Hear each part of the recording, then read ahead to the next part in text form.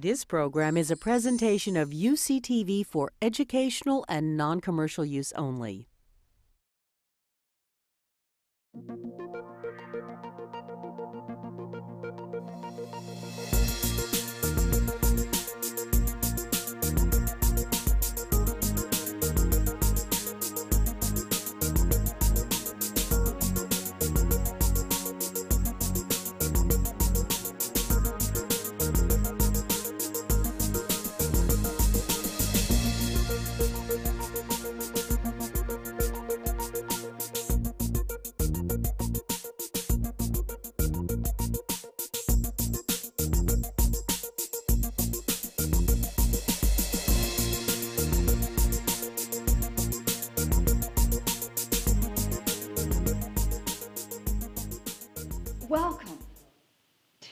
Final class in our mini medical series, Life in Balance Strategies for Optimal Health um, from the Science of Integrative Medicine.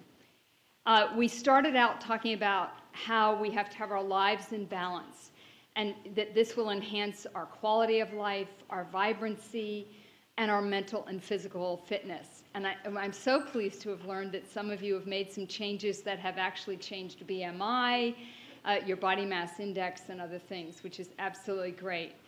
Because we know that a life in balance will promote health and it will help prevent illness. Lifestyle choices can also help us bring balance, I think, to so much more of our lives.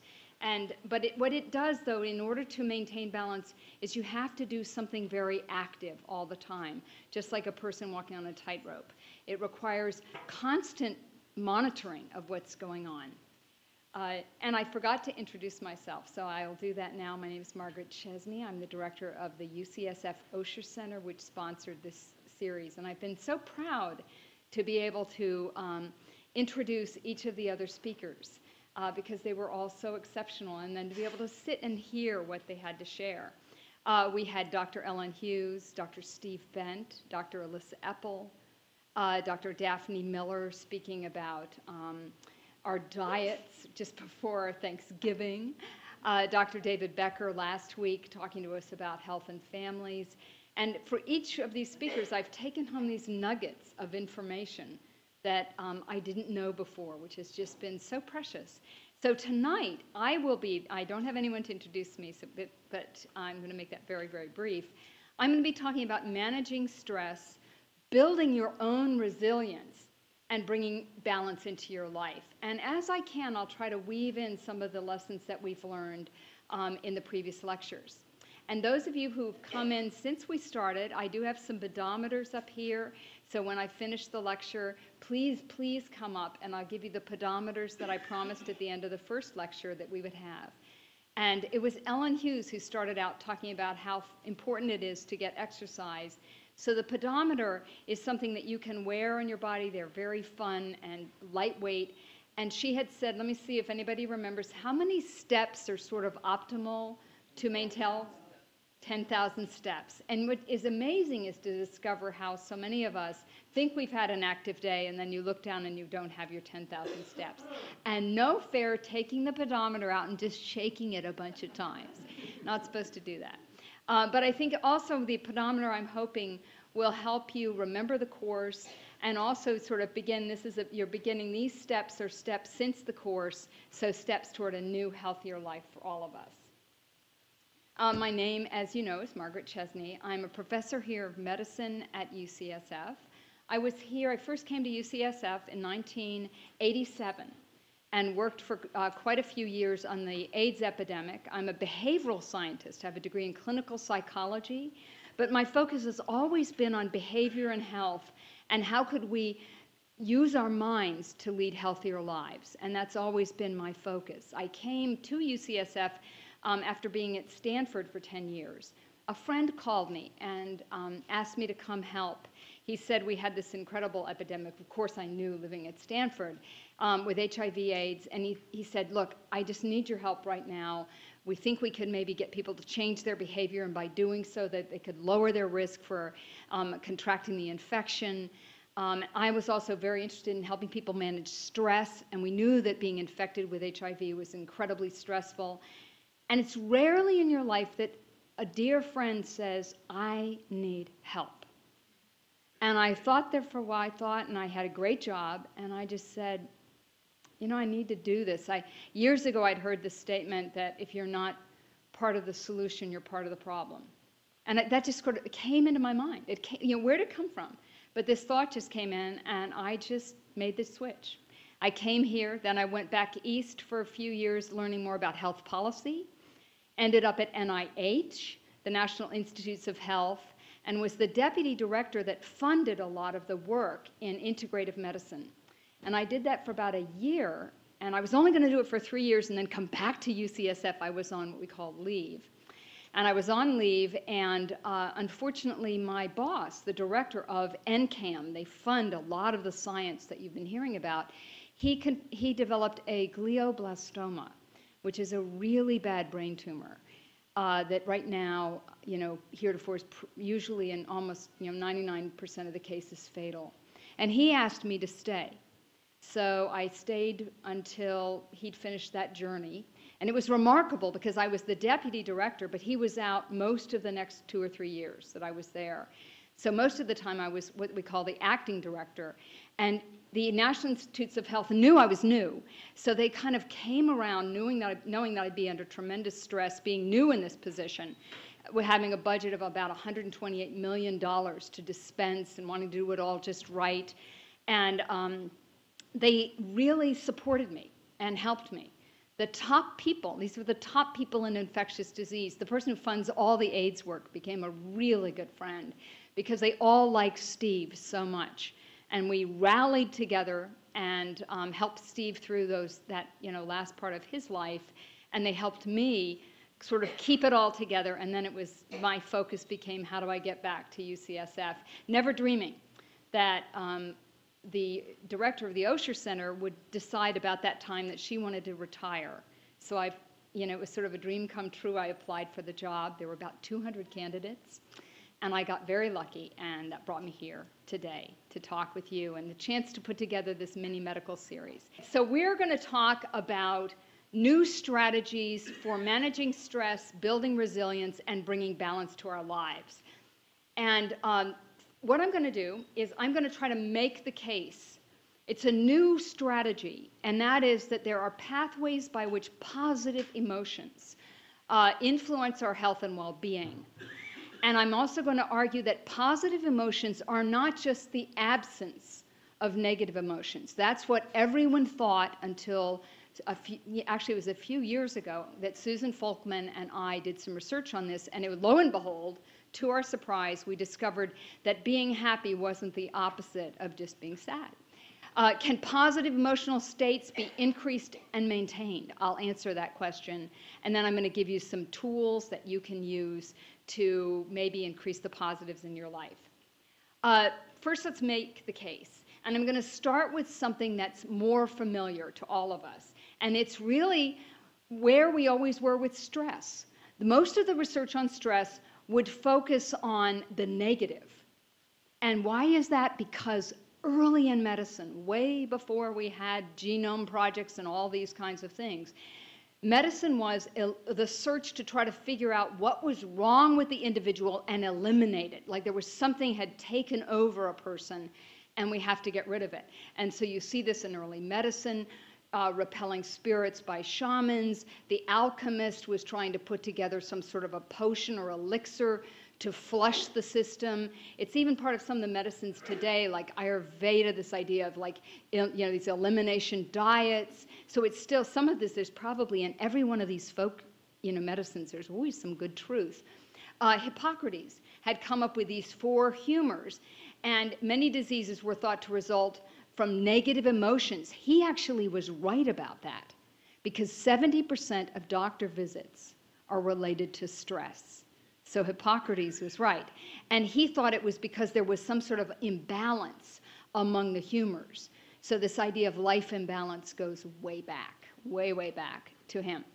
Um, mind body research has focused on negative affect. And in fact, I wanted you to all know about that because negative affect really does indeed affect our health. As I just said, 70% of office visits People with um, high levels of stress have two and a half times the likelihood of developing heart disease. This is absolutely true of both genders, but particularly true of men, probably because we have more research on that.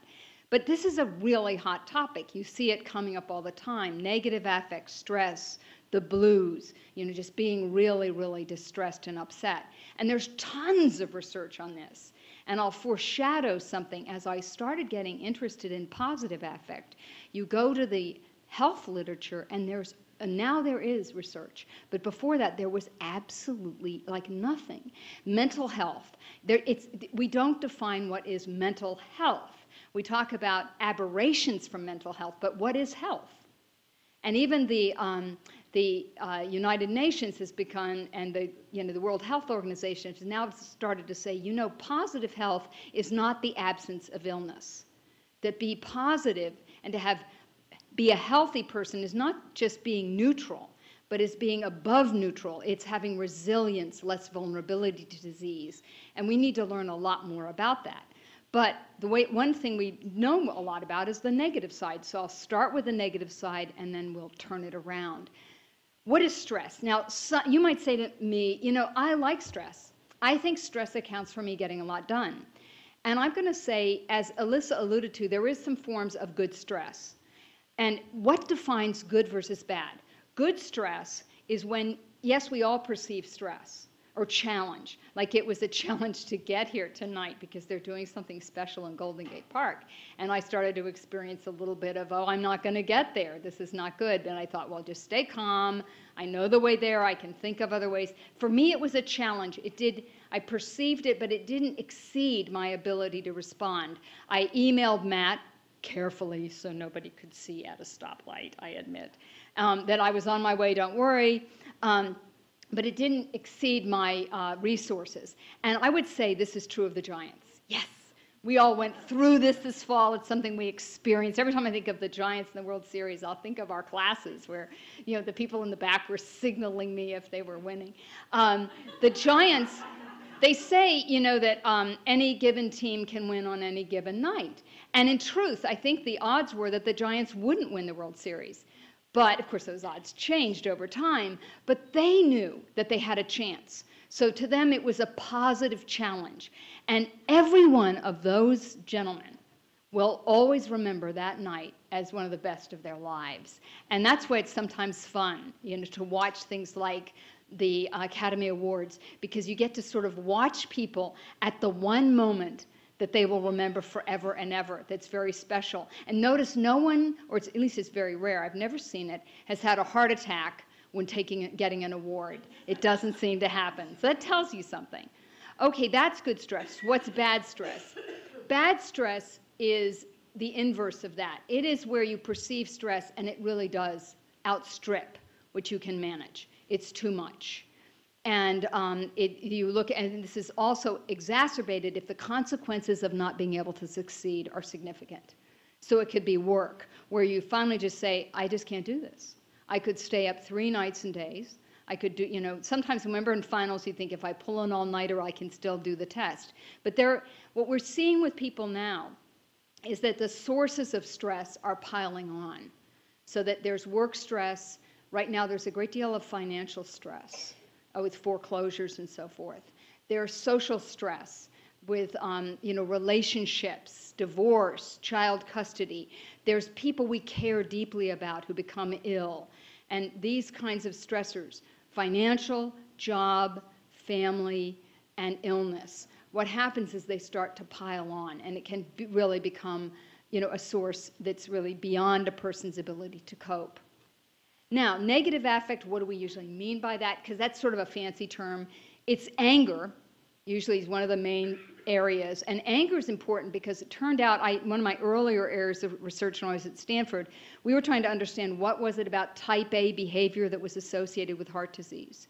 And it turned out it wasn't talking fast, which is good, thank goodness. Um, it's more a sense of impatience and being sort of irritated if people slow you down. It's a, it's a hostile competitiveness. It's like driving through traffic and saying, Why are all these people in my way? And there's some anger about those cars and getting on the horn and honking. Um, instead of other people who are a little bit uh, you know, stressed out because the car behind them seems to be getting really close, and you don't know why they would be doing that. You know, maybe they're really close because they want to read the license plates. You know, they, they think I have a cute bumper sticker. Why are they doing that? They think I'm looking in the rearview mirror. We actually we did this study, some qualitative interviews, and people who really drive slowly also tend not to look in the rearview mirror, so they don't even notice the flashing lights. Um, anger is a negative affect. Another one is depression. Very different. Depression uh, anger arises in situations where people feel it's unjust and when they're not in control. Another one is uh, depression, which is, tends to be more of a loss loss of reinforcement, certainly loss of people. These are important emotions. They're important, they're part of our, our human fiber. You need them. You know, we, there, there's, I would never tell anyone don't be angry because there are things that one needs to be angry about. It's what I would recommend is that we don't relive those events over and over and to try to find ways to kind of dispel the anger or to till you look at it and you say yes it's making me really irritated but i don't want it to get into my cardiovascular system and i know i, th- I always think of a tray with a hypodermic needle with adrenaline on it and I have to decide. And it's up, to me do I want to take that hypodermic needle, inject it into my heart, and basically cause my blood pressure and heart rate to go up? Do I really want to do that, or is it not that important? But I, ch- I make a choice about those. And we all have that choice to pause for a moment and decide. Depression is real and loss is incredibly painful. And we'll talk a little bit how to handle that. But these are important because there, you know, life, part of living is living the full range of emotions and being able to experience them and being able to use them to motivate us to make change, to motivate us to live better lives. Uh, one of, a lot of research has focused on how do negative emotions get into the skin. You know what, and so one thing we often like to look at is well, are these negative emotions associated with with you know problems with health? And the truth is they are. And for example, there's the religious order study, the longitudinal study, 851 clergy, and they studied them. And the clergy, you know, often have to hold their feelings in. They are like sponges. They hear everything that's happening to everyone. And then sometimes it's, they, they tend to kind of keep some of those feelings in. So they looked at suppressed anger and depression, and they found that doing that, feeling those feelings but not expressing them and kind of dealing with them was associated with increased death rates over four years that was independent of other risk factors. Um, and I'll also give you some data on the opposite what happens if you don't do that. Uh, the, there's some wonderful women's health study data. The Women's Health Initiative is well known. Does anybody know what for? That was the, exactly that was the, the study that showed that um, taking Premarin or estrogen replacement might increase risk for um, both heart disease and breast cancer. But in part of that study, uh, many of us who worked on it, we included a whole bunch of other questionnaires because we knew it would be an incredible time to get information on 107,000 women you know, on um, all kinds of things. And that data now been posted on the web, so other investigators can use it like a huge library of information. So a colleague of mine, Tindle, looked at, we had some scales on being cynical and hostile, and they showed that women who had that attitude, it was a longitudinal study, so the people filled out questionnaires at the beginning of the study, and then you can just look to see is it associated with a higher mortality rate. And it was, the more hostile women had 63 deaths deaths per 10,000, and they'll be able to continue to follow the women and continue to confirm this. Uh, least hostile women lived um, longer lives. These were all women in adult years. Uh, and later I'll tell you about women that scored high in optimism. Uh, we want to understand more about how, as I said, this, this now that we know it, it you know, is associated with mortality, you want to know why what's going on. And this does get a little bit complicated because there are three, at least three pathways. One is physiological, one is behavioral, and one is involves actually adverse, um, aversive environments. And I'll only highlight one of those. The physiological responses, you heard a lot about this um, when you heard from Elissa Epel. Uh, basically, negative emotions really have a cascading effect on our bodies. Why is this? Well, the part of our whole emotional nature was structured so that we would engage in the behaviors that we would, would help us survive. And so, fear, flight, fight, all of those, if you think about ancient males and females, if there was a tiger, they had to have its whole cardiovascular arousal so that they could run away from the, the lion, run to the cave, get other people, come back, see if they could fight the lion or the mammoth. They needed meat. They needed to be able to hunt. They needed to be able to protect their families. They had to have the emotion to protect. So then, if something harms your family or you lose a family member, then you can feel loss and sad or angry, but that emotion then spurs one to protect the family members. I mean, all of this makes sense if you think about ancient man. And so the, uh, the fight, flight, and freeze responses are channeled through, you know, the brain perceives an event, it triggers a whole cascading set of, of um, outcomes for example, to fight, what you have to have is the musculoskeletal system. To fight, you've got to get blood flow to the muscles. But if you have too much stress, you end up with headaches, muscle pain. Respiratory, we know now that negative affect is associated with outbreaks, not of asthma being caused, but problems with asthma. It can exacerbate asthma. Um, it, it's related to hyperventilation, which can be associated with certain forms of anxiety and panic attacks. I've mentioned heart disease and so forth. Elissa um, Epel, in her earlier lecture, and those who've missed it, it'll be on UCTV, she talked a lot about cortisol, epinephrine, and how these various um, chemical responses in our bodies all interact in ways that are, um, can increase our risk. Um, the GI system, you can develop acid reflux um, you know, stomach pain based on, based on uh, the stress in our lives. And it can affect the even reproduction. People under a great deal of stress are often have more trouble reproducing. Women skip their periods and so forth. So these are incredibly important systems. Negative and positive states interestingly are even associated you can look at fMRI and PET scans and it's interesting you can find the states on the brain the negative affect occurs more on the right frontal lobe. So if you can activate people's anger, the right frontal lobe lights up. If it's positive affect, the left frontal lo- lobe will light up more. So there's the brain is perceiving this. The, it it picks it up and then it starts through the brain sending all these signals down. Uh, the states. Um, like depression in particular, you can actually see this, and it allows us to do much more studies. Before, we only had questionnaires, and now we can actually, you know, have a window. We've gotten into the black box, if you will, with these new tools. Uh, there have been some studies that then would study people who are showing negative affect and then look at their physiology to see what's going on.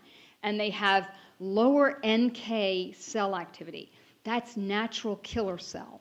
That means they're white blood cells. That means if you have a little bit of an infection or something and a person has a lot of negative affect, they're more likely to, you know, that if you're exposed to a virus, they'll get the infection. Their natural killer cells are supposed to be floating around and basically eliminating uh, viruses, bacteria, and so forth. Their immune systems are not functioning as well. They also have greater decreases in NK function during a stress, um, of, during the natural stress of the exam. You, their NK cells, you want to see them kind of like mount and they're just there and to be able to um, respond in a way that makes sense with whatever's going on they show a lot of abnormalities they also when you show a positive film what you want to see is the nk cells the immune system responding to the positive, which we, we'd like to see, and with positive people it does. So positive affect enhances immune function. For negative people, they even if you show the positive, they don't. It doesn't seem to impact them, and they don't. And, and they've actually then exposed them to vaccines to see does their body mount the response you want to see to a vaccine, and they don't do as well. So a lot of indications that negative affect is not good. And Elissa highlighted a number of other things, including the HPA axis. Remember, she talked about the cortisol as the stress hormone. She outlined all of that, and we'll return to one of her slides in just a minute. What makes this tough to study is while all that physiological stuff is going on, and a lot of it's direct, the mood happens and the body responds, people respond to negative affect and try to do things to help manage it. And unfortunately, the things that they do are often um, adverse for their health as well. So you've got two things happening at the same time, which makes this a challenge to study. Depression is associated with poor health behaviors. Uh, people tend to drink more. The alcohol use is probably functional. They're trying to sort of become anesthetized you know make it easier. I won't ask for a show of hands but in our society sometimes you sort of just you know some people will say i just i just need a drink. I want this to go away for a while. I just want to get away from this. So we notice that people in our society they get up. What do they do to wake up? Coffee. What do they do when they go home? A glass of wine. Everything in moderation is okay uh, there have been tons of studies on caffeine. A little bit of coffee is probably not a problem for most of us. Uh, one glass of wine probably is a good idea. It's the excess. Uh, but we find too that depressed people exercise less. And remember, exercise actually enhances positive affect. They're doing less of that. And they also tend not to adhere to care. This is something we saw in the HIV epidemic to such a proportion that you would put people in coping effectiveness groups. At the end of the study, I'll share with you some of the data where we were trying to enhance and help people cope with HIV in part so they'd have better quality of life, but also so that they would take the medication. Um, these behaviors then potentiate all the things that are happening physiologically at the same time. And then I think I've got this slide from Elissa. Remember, she shared this and she showed how stress and diet were working together to um, promote abdominal flat, fat. And she showed that when you put stress with junk food, you got higher, you, you would actually get this exponential impact of cortisol, insulin, um, and then the NPY, which I don't remember, greater abdominal fat. Remember, she talked about the soup, the metabolic bad soup that occurs. Um, um, and it, she showed in some of her studies that you know if you push this in some animal studies, they could actually create the metabolic syndrome in just four months. And so she, her summary slide that she had was how stress gets under the skin. It affects gene expression. If you remember, she talked about how it, it affected the rate of our telomeres shortening. Those are the little caps at the end of our chromosomes. Um, and she also highlighted how it changed our metabolic health, creating this stress soup. And she argued all of this is under our control because we can control what we eat, less sugars, and we can um, also you know change some of our other behaviors to manage stress and we promised you if you went to that lecture you'd hear more about that tonight so the third pathway and these same pathways work for positive but it's all turned around is social isolation this is kind of i find this interesting and that people who are feeling negative and distressed tend to be more isolated. And the isolation, again, has physiological pathways. So you'll see the cortisol appearing again. Depression increases cortisol. Isolation, even independent of depression, increases cortisol. Cortisol is the thing that's, that Elissa talked about as getting mixed in with what we eat. So in um, this is a study in Whitehall, which is the civil service workers in the UK. Um, and they took 188 healthy men, 110 healthy women, and they actually studied them and they used a close person questionnaire asking people how many friends do you have? Do you have someone with whom you could you know to whom you could say could you loan me money? You know i need some help things like that. How many people that they had close in their lives.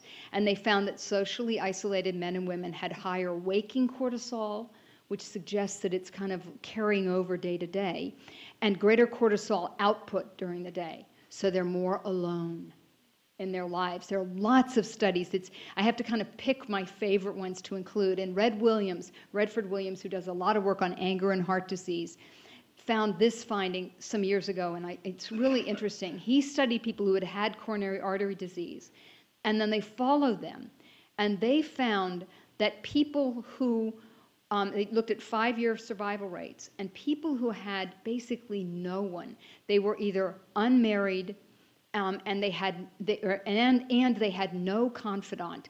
It was one question, like, do you have someone with whom you can talk about your deepest, you know, concerns and fears? Something like that. There's one person to really talk to. People who said no. They took those people, they took the people that were not married, and they studied them, and they had a significantly greater increase. The Cox had three times the likelihood of dying, and they did go in and check to make sure that it wasn't because they had a heart attack and no one else was there. It's this being alone is an unhealthy state for people, men and women, uh, both.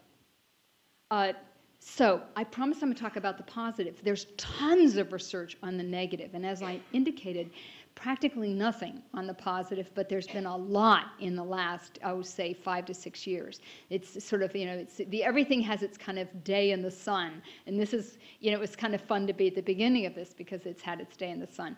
But the question is first, what is the impact on health? And then I'll talk a little bit about how to intervene.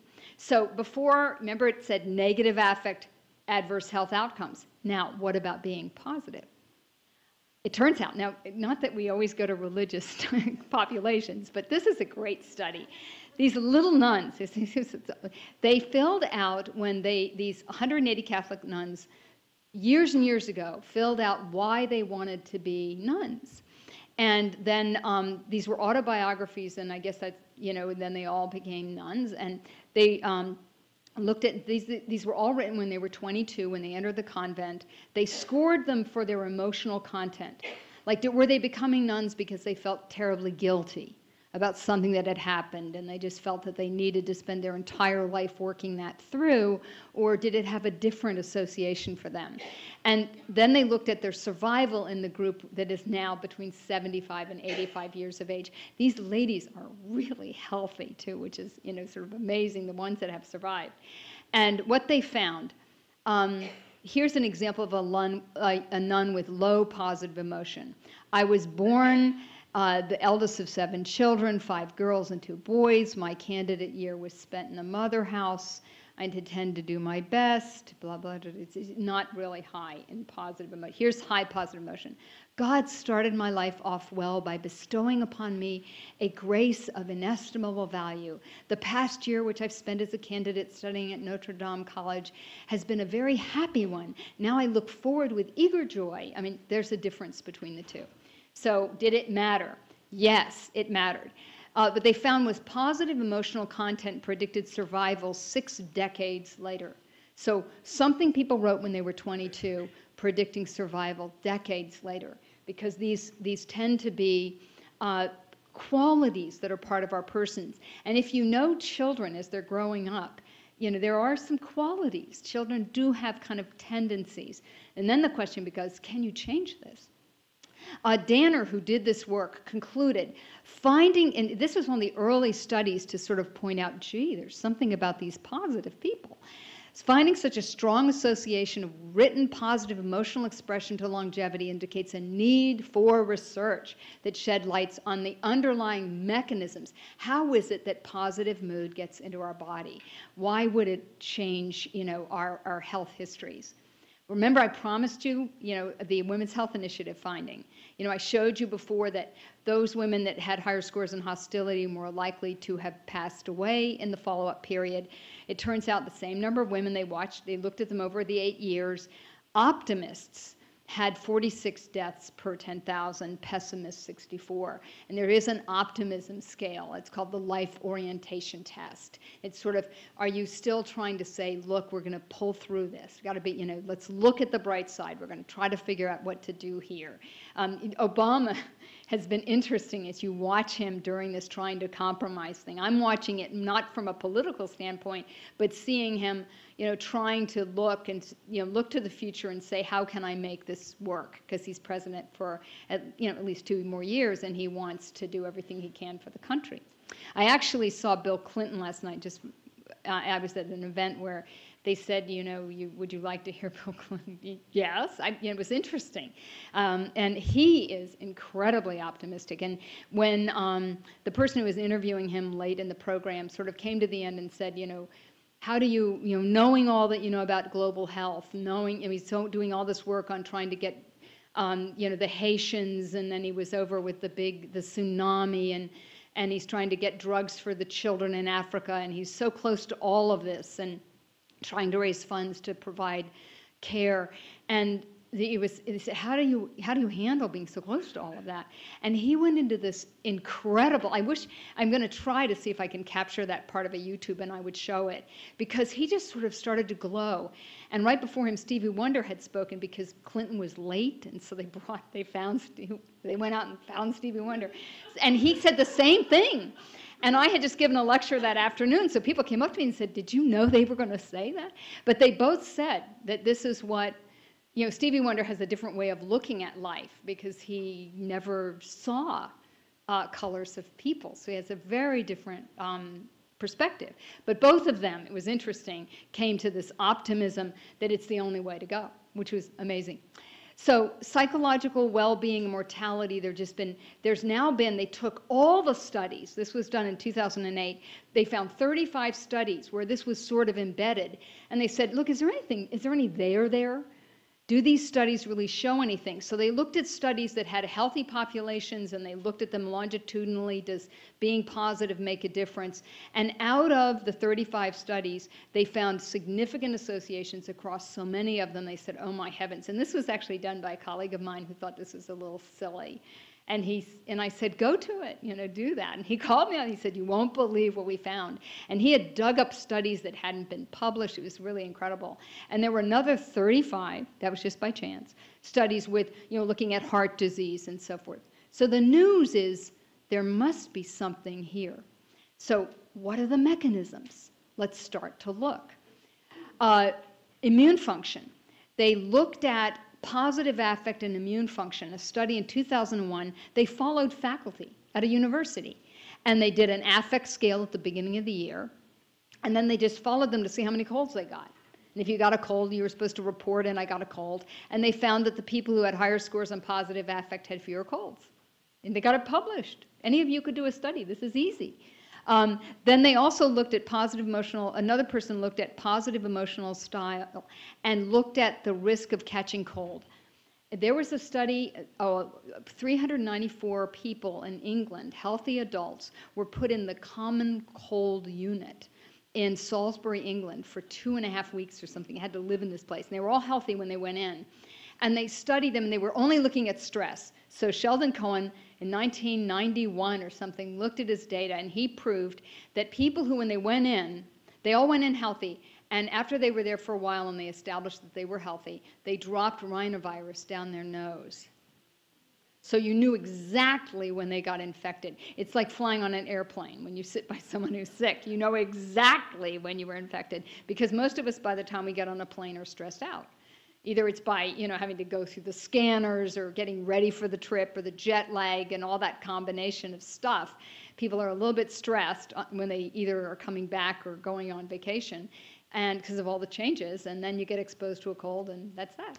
Um, well, anyway, they did this study. So in 1991, Sheldon Cohen got this great paper published in the New England Journal of Medicine, the best journal, because he showed that the ratings they gave of stress was significantly associated. Those who rated stress um, low, even though the virus was dropped into their nose, only 27% got a cold.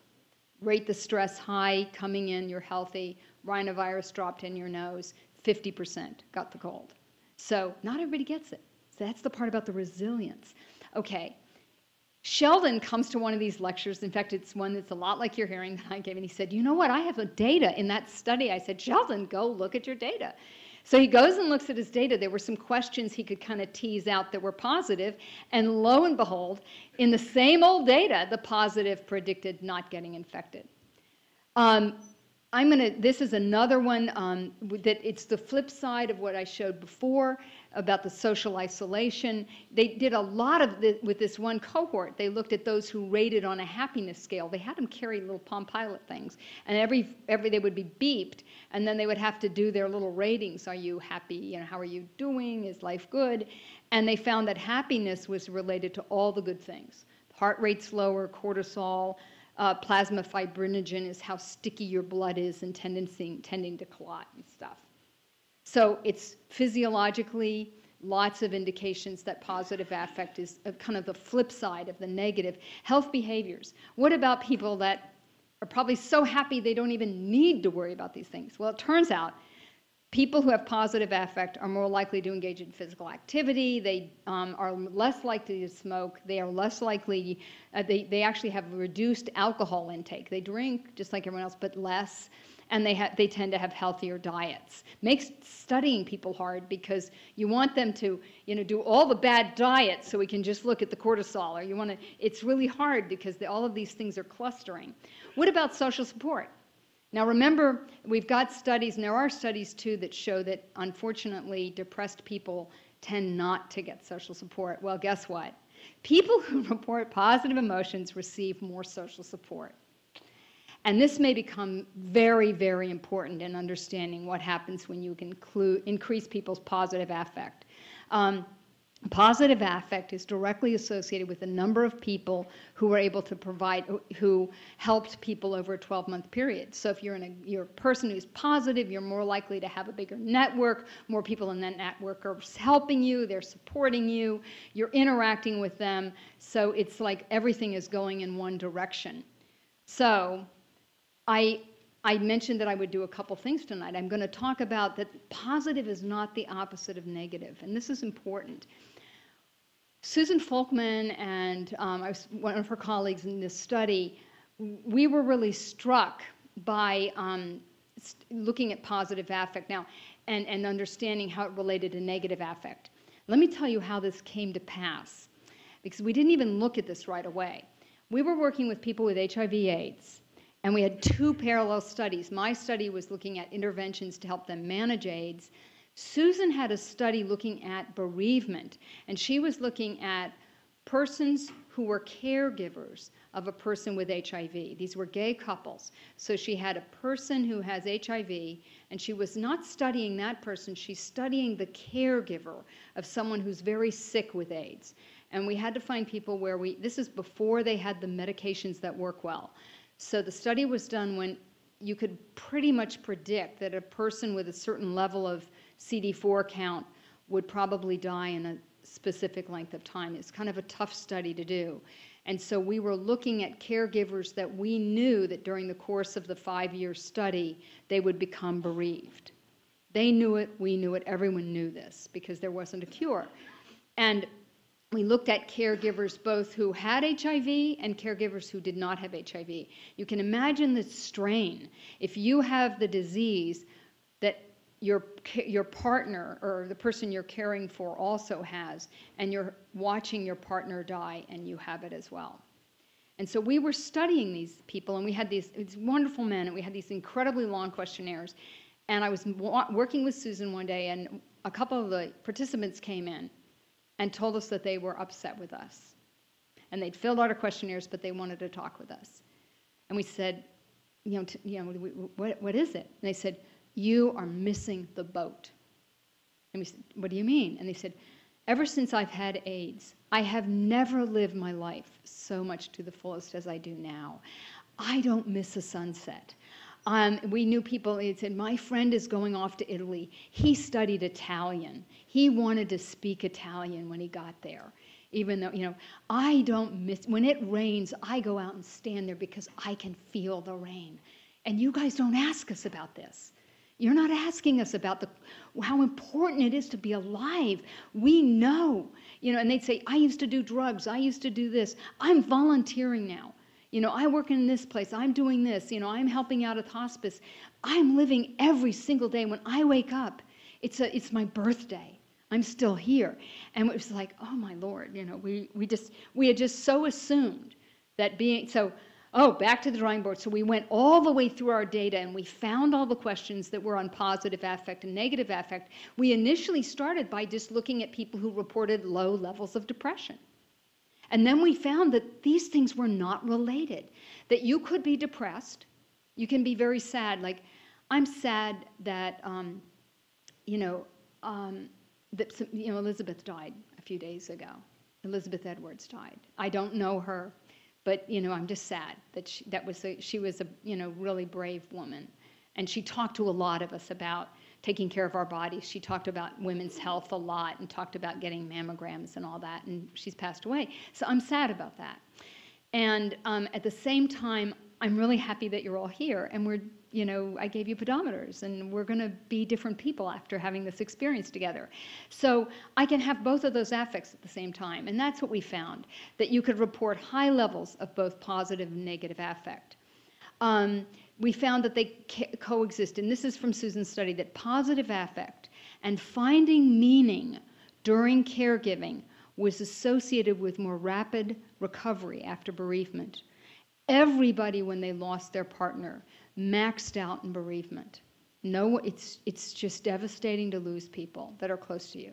And it was amazing. There was no figure graph high enough to capture how every single person felt. There was no variation in that. We are meant to care for one another, and when we lose one another, it's devastating. But what we did see is the trajectory after that was, which is important, and needs to, grieving needs time and it needs all that it needs, and that's a different lecture.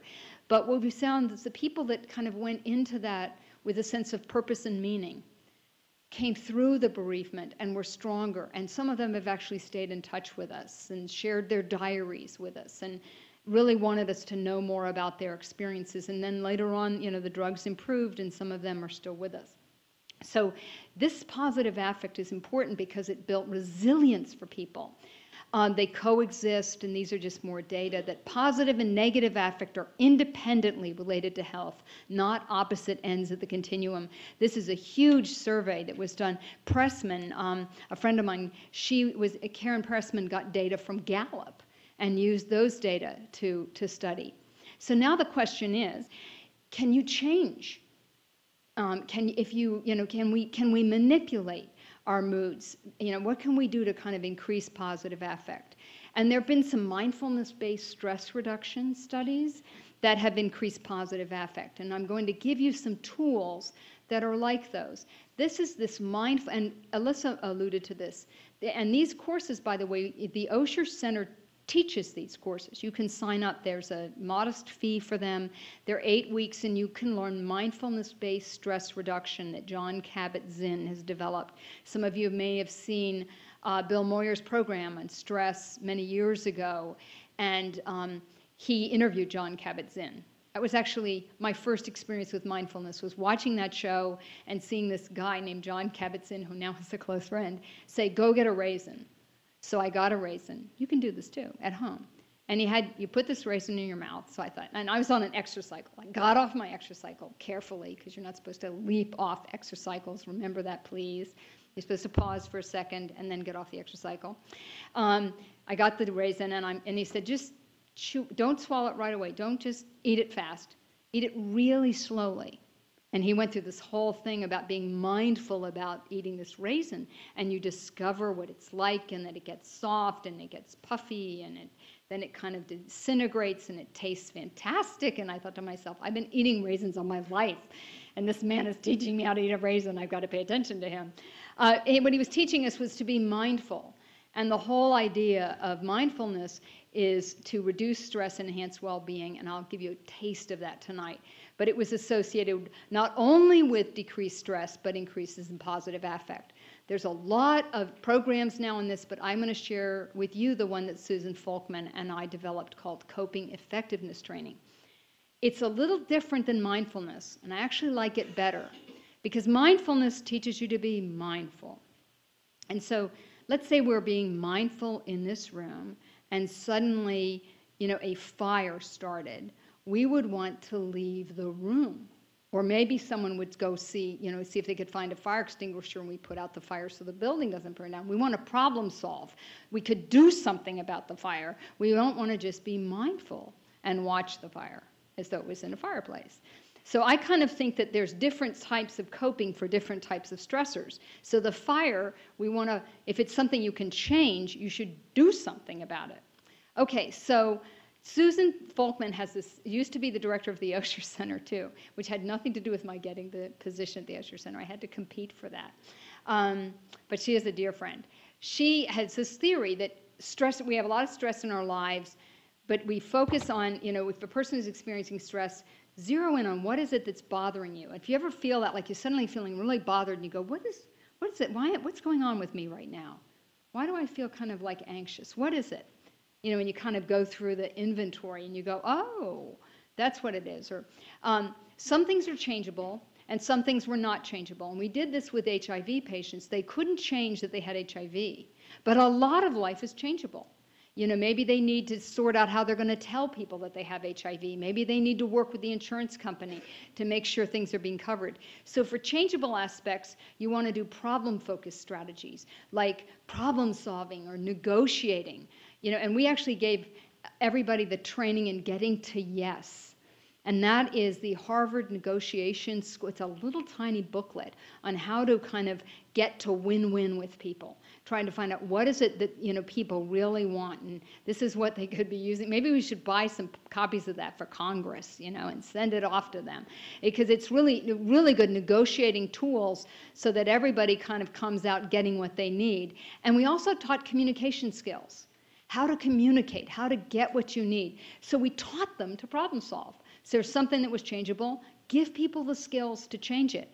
For things that aren't changeable, this is where we used guided imagery, which is where a person is is you know closes their eyes and you can have a tape or somebody can tell you or you can do it yourself. You have a favorite place that you can go to any time you want. And this is what I do. When I go on vacation, I bring back like a picture or something or postcard of a place that I've been, and I pin it on my desk. And whenever I get really, really upset, I can just kind of go into that picture. And I have to move the picture around. By the way, anything like that, you got to move your pictures around because you get so you don't see it. Like your spouse, they just sort of, there they are by the stapler. Move them over by the scotch tape. And it's like, oh, they look much better over by the scotch tape. And then you move it back to the stapler. It's just a little thing. There's research on that. Trust me. Uh, you just don't see stuff. So I move my little picture around of the lake country in England or wherever I've been lately or where I want to go. I, I'm some of these you see in a movie, you can just make it real. So that's guided imagery. Take, you know, think, and then what you do is you smell the place, you sense the place, you feel the warmth, you you just you become there um, physical activity is also a wonderful way to change mood by the way um, humor is fabulous you know, it, we need a lot of good humor. Um, and then there's also some strategies to enhance well-being, and they include mindfulness. And I'm going to teach you some tonight, and you have them in your handout. And I've taken seven strategies and I boiled them down to like seven concepts really fast.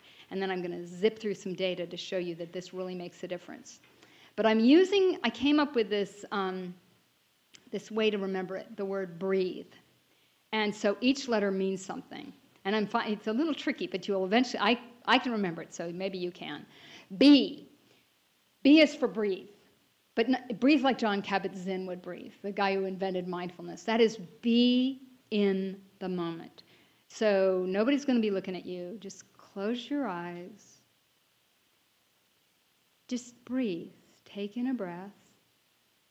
And when you want to, you can exhale and just be here now. Here you are in the class. Push away unwanted thoughts and worry. Just be here. You feel your feet maybe on the floor, maybe they're crossed. Maybe you should put them on the floor. um, you know, you can feel your your body. Just be here now in the moment. That's really important. And then when you want to just open your eyes, we don't do that enough. Most of us live like worrying about something, we're worried about the future, just trying to be still here and now. That's what meditation is. And you can take a course to learn a lot of it, or you can just do it quickly. You can do this at stoplights, you know, just take a breath. You know, sometimes there's nothing you can do. You're caught in traffic. Hey, this is a great time to bring up my B R E A T H E. Breathe. That's the first step. R, set now i'm giving you things that will help both problem solving and the other. Realistic goals. I've done a lot of research on coping and what we find is that many people who have stressful lives try to do too much in a certain amount of time. They underestimate the time it's going to take to do things. And it sets them up for constantly failing and being upset with themselves. Um, I am slightly guilty of just grabbing my attache case that has so much in it that I could, if I worked at home for three weeks, I wouldn't get through it. And you know, part of that is I don't take the time to take stuff out of there, but that's my New Year's resolution. I'm going to change that behavior and take only what I think I can get done in an evening in kind of whatever's going to be an okay time to spend kind of catching up. And some nights I'm going to make a promise to myself in the new year that at least twice a week there'll be nothing. You know, emergencies, yes, but you know, basically not commit that every night I will go home and immediately put in another like five hours. Just not healthy, and I know that.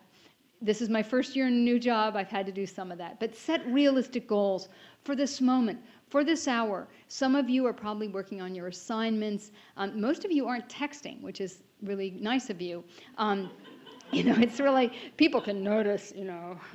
Um, and you can see people in meetings. It's really slightly rude to do this, but you know, go out to dinner with someone and they're texting. Um, but set realistic goals for this moment, for this hour. What can you really do for the vacation? What are you going to do in this? You know, just each period of time. What do I want to get out of today? And then celebrate. Hey, I did it. But be realistic. Most of us aren't. And that's why we're running behind. We're trying to do too much in too little time. It was the classic type A problem. E, everyday events. Notice the positive moments in everyday life. They're around us all the time. I saw some people walking over and they paused at the Florence Nightingale statue. It's just nice. And it's just beautiful in this area of all the science that's happening around us and you know you're you're just sort of surrounded by all this. It's just really great. Um, share these events with others. Say, point out to others. You know, oh, isn't it a great day? I love living on the West Coast because you can actually say that to strangers and they don't think you're strange. Um, I was spent a lot of time in Washington. They don't do that. I discovered that. I had people warn me, don't do that. That's a little weird. I did it anyway because you know that's how I am. But um, people would just sort of, what? Did you need something? What you want? What is it? I'm just saying, have a good day.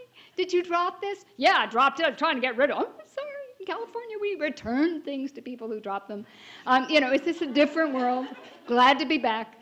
Um, so, you know, but notice what's right. Like, this is a nice room. You know, the meal was good. Um, but a lot of times, though, you have to do something a little different. You have to recognize when things go right. Not many of you have really bad colds tonight, I can tell. You know, I notice these things. You know, when you have a cold, don't you ever feel like if I could just breathe? Oh, whatever. You know, when you wake up you can't breathe on either side? You know, I, I mean, when you can't breathe on one side, you can turn over. And if you use a neti pot, you discover these areas are joined. And then eventually, you know, you can, that one works, but the other one doesn't. And then you, you know, and then it's like, will this ever get better? And then it does, but we don't even notice it. How many of you can breathe right now through fairly well both nostrils? All right, celebrate this moment. You know, what's wrong with you? Okay, the tire. Let me tell you about the tire. This is true. I'm not particularly adept at changing tires. I can do it, but they've changed the thingies. know, I, I'm older, so I kind of remembered the jack thing, and there was the thing that had the, you know, to get the hubcap things off, and you got to remember where you put the special locking, whatever it is, gizmo. Remember about that? That when you buy the car, they give you this thing, and you've totally forgotten where it is. Should be in the glove boxes. Where but anyway, I just don't like to do that. I mean, I'm really bad at that. And I noticed you only need to do that when you need to go somewhere.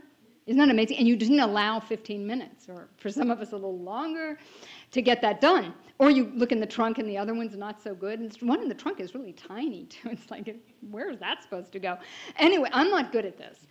And so, um, when I go out to my car, every single time, this is true, if you see me in the garage, you will see this. I am checking my tires and I'm going, yes, it's a great day and I do this. It's sort of a fun thing. I just I look at there's one of my tires. I have this like sort of little sensitive tire. The one I don't know what you call it, but it's the one like by the drive. Is it right or left? I don't know, but it's on the driver's side in the front part. He doesn't like to let the tires suck up close to the rim. He's not flat. He just doesn't stick on well. And so he leaks. I have a leaking guy. So I, I, what I do is I fill him every two weeks at Costco. You can go and you get the guys and they help you. So I am thrilled when he's doing well and my other the other guys, they're all guys, they're all doing really well and I'm thrilled. So I'm telling you, you can do this too. Um, another one, let me go back. Another one, just really good one. The mail, when you get the mail, you go, Nothing from the IRS. This is great because when it is from the IRS, is this a bad day? Usually.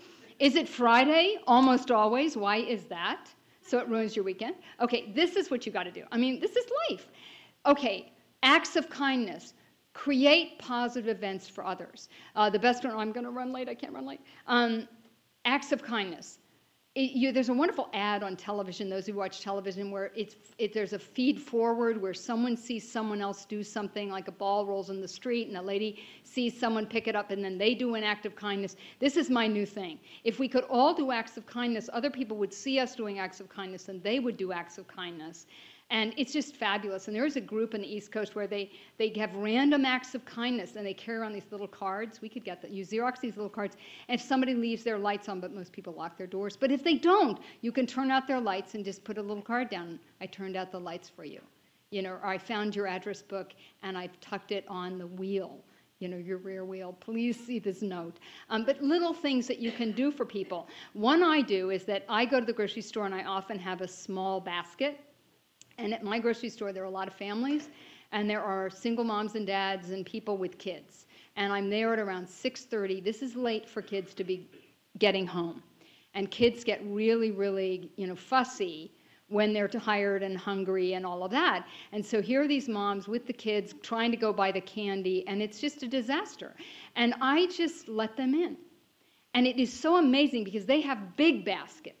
Sometimes they have little cars with kids, but they have these big baskets and tons of stuff, and I've got a little basket, and I go, You go ahead. And it's so amazing because there's a rule that big baskets let little baskets in, but little baskets don't let big baskets in. We don't do that. You know. By the way, I've even been attacked once because I had my little basket. Somebody told me I was in the wrong line because they counted every orange that was in the bag of oranges. Excuse me. I let the person go first, and then the next little basket let me stay in the 15 last line. It was really sort of interesting dynamic. That was on the East Coast. That wouldn't happen here. Um, anyway, um, so the basket thing is you let them in, and everybody around is just like they can't believe it. They go, "Good Samaritan on aisle three. You know, it's just the greatest thing. So look for opportunities to do kind things. It's fabulous. Turn negatives around I mentioned that sad things happen, and they do. Um, but sometimes, and it's important to talk about that, be there, respect that, and it's real. But there are also times to sort of take that moment and say, I'm gonna, I'm gonna do something. I, am gonna make this. A friend of mine's mom died, and I was talking with her about this, and I'll share the story. It stayed with me for like 20 years. She said, someone maybe told her, I don't know. She said, my mom always wrote thank you notes. And you know what I'm going to do? For the rest of my life, whenever somebody does something for me, I'm going to sit down and write a thank you note right away. And she and I said, "You that's a great idea." And I said, "How can you make that like real now?" And we talked about how the next day she would go to like one of these nice stores and buy a few boxes of really nice cards. You know, that just she could so she'd be ready. And it was a way of doing something that she, and so for the rest of her life, she's done this. Well, it, what was interesting is she told me about it, and I'm really trying to be better about thank you notes too. So finding something about a person that's gone and then doing part of what they did can become a way of having them live on. And it was just sort of still staying with it. Well, there are other people. A wonderful friend of mine had breast cancer, and she didn't like how she was treated in the hospital. You know, it was very surgical, if you will. And so she has, and her husband, this is Penny and Bill George, and in his, his book, Authentic Leadership, he wrote that book. Um, his first the whole first chapter is about how Penny got breast cancer, and it changed his life. He teaches business at Harvard Law, uh, Business School, and he was the CEO for Medtronic. They actually fund NPR and that Sunday afternoon program on spiritual spirituality as part of this whole thing. It was all from her breast cancer. They want to change how medicine is practiced, and they have just funded us to start an integrative women's health program. We're going to create a model of what does it mean to have integrative women's health. And Penny just decided she would do. She called me up and said, "Do you have something you'd like to do in women in integrative health?" It was anything I wanted. And thinking about Penny, I thought this is what I want to do. But she's devoting her life to that, and others have done that. Michael J. Fox He could have gone off and hidden. He has Parkinson's. He has found, found that he created this foundation. They've raised $221 million for Parkinson's research. Plus, he goes on Jay Leno, and he's he's Michael J. Fox, and he's right there being Michael with courage, and because we all have. Some of us have our our challenges that others can't see. Sometimes you can see the challenge, but he's turned it into something that has taught us so much. So that's turn negatives into something positive, if you can. And that, again, is not to detract from the negative. H is honor your strengths. Each one of you has something special about yourself. You play the clarinet really well, or whatever it is. Just when you're alone, stay close to those things that you value in yourself. And you know, it's okay to say, I'm good at that. I like doing it. I sing in the car. You know, I like singing in the car. It cheers me up and I'm okay. I used to sing and some people would even listen. Probably not anymore, but you know, I did it then and it's okay. And I have fun with it. In fact, this cop was looking at me thinking that I was talking on the cell phone. I could tell. And I was I was just singing. So I rolled my window and I said, just singing in the car. Okay, um, east, not East Coast, not East Coast, West Coast. E. And some of you from the East Coast, I'm so sorry, you know, it's okay. Um, there were great things, great history, great brick buildings. Um, Monticello. Uh, okay, um, I can think of some others, give me some time. Lightning bugs. Remember, have you guys seen those? The ones in this dusk, in the June, these little bugs come out and they blink. It's great. Um, you put them in jars, punch holes, or anyway. Um, e is end each day with gratitude. Uh, that means note the good things that happened today. You came to this lecture, you laughed. All the things that you're thankful for. Most of us get to the end of the day and we go, oh, no, I still didn't get that. What is wrong with me? Where's that piece of paper? Oh, why don't I keep a piece of paper by the bed? Oh, and scratch it down. Oh, I'll remember it first thing in the morning. This is just terrible. Like, know, not good. This is no way to go to bed unless you hit yourself hard enough, you fall asleep. You know, um, you want to say, this is a good day. It was fun. I, you know, I, I caught up, I, I did 10,000 steps. I did eight. I did more than yesterday. Think of those things and you'll sleep better. It's what we discovered. This is the only thing, by the way, when we went to look at positive mental health and what you could do, this was the only thing I could find in the literature way back when. That um, the people that have worked with Beck had something about positive accounting at the end of the day. And now we would encourage people to keep a gratitude diary. Okay, so those are your BR, I'm losing track, B-R-E-A-T-H-E. Uh, we have a scale in our studies so we can measure whether or not we were able to enhance personal growth. I love these questions. I learned to be open to new information. I learned to find more meaning in life. I learned to, to be myself and not try to be what others want me to be. We did a big randomized trial. We taught people to cope more effectively compared to our control group. The coping group is on the left. The uh, excuse me, the, the coping group is on the left, the control group is on the right in terms of being able to cope and have efficacy doing it. We significantly increased people's scores on the positive states of mind scale. Uh, unfortunately, our control group got worse. Uh, not good.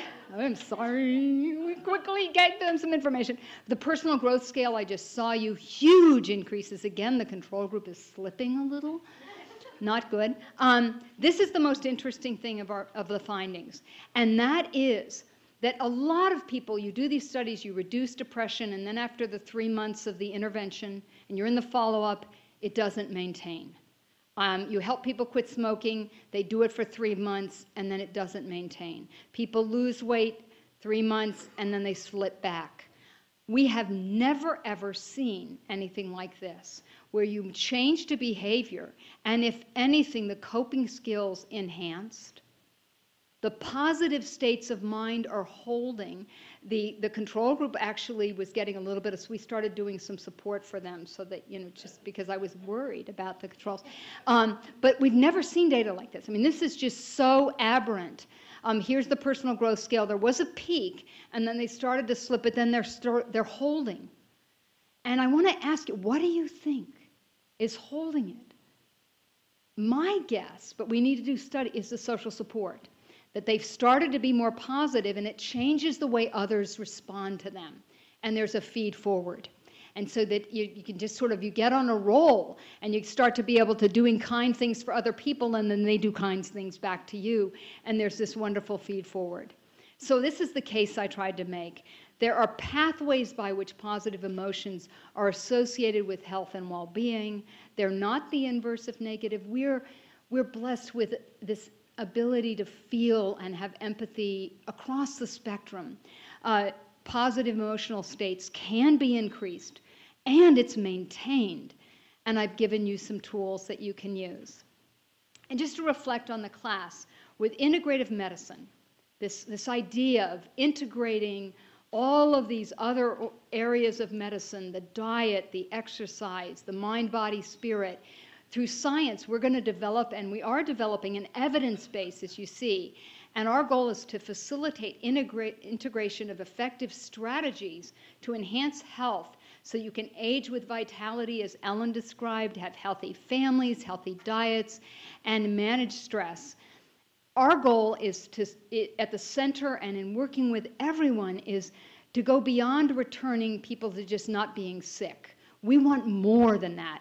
I want our goal is to strive to encourage personal growth and enhanced well being. That's what coming to UCSF should do. Not just get rid of an illness, but give you that resilience to encourage you to actively participate in choices that would enhance your resilience. And we know that positive affect does that. It will enhance your immune system, prevent illness, so enhance resilience, prevent illness, and improve the quality of all of our lives. Thank you so, so very much. How are I doing?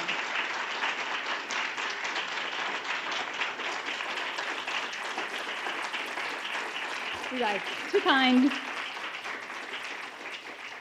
I have time for questions, and I will try to repeat the questions if you have questions or tell stories. You can share with me, you know, thoughts you've had, not just tonight, but across the, the nights. And if you're leaving early, please, you can sneak up and get yourself a pedometer if you need to. Um, any questions or comments? Yes, the lady in the back, and then this lady here she just shared how she's been keeping a gratitude um, diary for the last two and a half weeks and is seeing that it lifts her mood at the end of the day to just remember that there were good things, noticing the things that have gone well. Thank you, that's great. There was a comment here in the front? Yes. Very good question. Have we been able to insinuate some of these perspectives of integrative medicine and being mindful and caring for others um, is part of medical training. And the integrative, the, the Osher Center for Integrative Medicine actually has. We have um, six required units in medical school that they all have to take now that expose them to some of this information because all physicians need to know about certain parts of integrative medicine. We also have 20 some elective units, including mindfulness training and, and activities like that that they can elect to have. Um, they're welcome also to come over to the Osher Center and do shadowing. So they shadow the physicians at the Osher Center, and the practitioners do acupuncture, and massage. The physicians do an integrative interview with you. It's a longer visit um, that we're able to do at the Osher Center. And so these students can come and shadow that. And at the Osher Center, we do teach them yoga and mindfulness. And so we have medical students that do that. UCSF is unique in that they're all the, the students in the School of Medicine, Nursing, Pharmacy, and uh, dental school have organized their own integrative medicine interest group. And they, they have their own day long meeting that they put on in the spring here. So it, it's a growing field of interest. And so I think you'll see more and more of this with younger physicians. Um, older ones, you know, would need to seek it out some, and some do. But you're right. I mean, I we've all experienced people that could use some mindfulness. They need to get that raisin right. we just get take this raisin. I want you to try this raisin and see if it changes your life. I've thanked John, by the way, for that. Um, questions or comments? Yes, sir. Yes. He's saying he's from Malawi. It's a, um, an area in Africa where it's small and everyone knows everyone, so they're, em- they're embraced in support and there's very little depression. The, um, there are areas in the United States, there's certain religious orders, the Amish in particular, where um, they've done studies and there are pockets of people that live that kind of a life where there's extended families you know, we've lost something with the way that we live. And I think that there are ways we can recreate that by creating community. The one thing I kind of regret about this class is that I think some of you might like each other, but there's there's no way to kind of have you meet. You know, and I, I there's no like you know coffee hour or something and even that's a little awkward but we we need more ways as adults and as you know individuals to be able to get to know one another without the other person wondering why you're doing that. And you can do that through organizations. But remember in college, I mean, you sort of just met people. And then as you move away from that, it gets harder and harder uh, to, to meet people. I mean, there are some places, you know, Starbucks, the Marina Safeway. Uh, but usually Sierra Club. Clubs are a good way. But, it's, but, it's, but there's nothing like the family you know, families are, and I think some of you, I hope some of you were able to have a chosen family or some family in Thanksgiving, because it makes a difference. Other comments or questions? Yes. I could share some interesting pieces of information with you.